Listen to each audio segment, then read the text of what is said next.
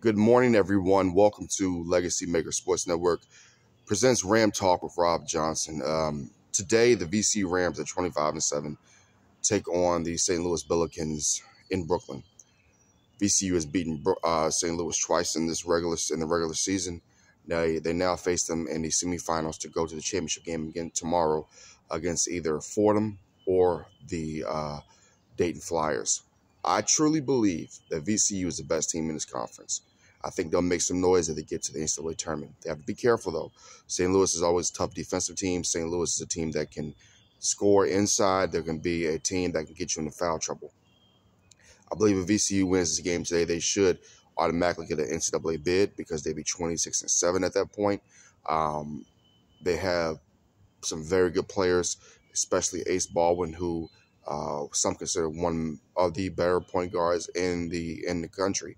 So, if you're VCU today, you come out, you get on top of St. Louis early. You don't let them get in momentum. Rebounding is going to be critical. Um, fast break points is going to be critical. Um, and it's also going to be critical to lock them down defensively and force them into mistakes.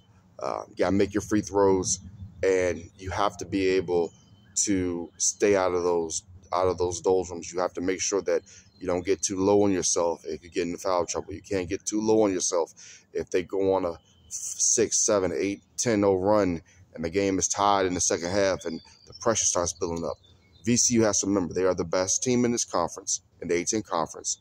Um, Fordham and Dayton wait for them on the other side of this. So uh, I believe VCU beat St. Louis today, and I believe they will face uh, Dayton tomorrow after I believe Dayton beats um, Fordham. And then we'll have a matchup between the two teams who I thought were going to be in the finals anyway.